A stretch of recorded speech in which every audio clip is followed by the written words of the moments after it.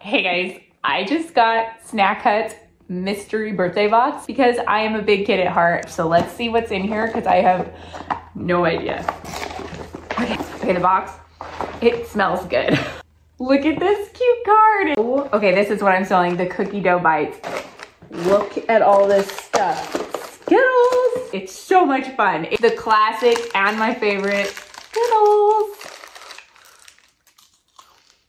Perfection.